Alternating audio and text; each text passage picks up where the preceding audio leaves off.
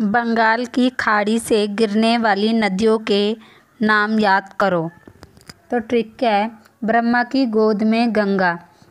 ब्रह्मा से ब्रा ब्रा से ब्रह्मपुत्र और की की से कावेरी, कृष्णा और गोद गोद से गोदावरी और माँ से, मे से महानदी, गंगा से गंगा।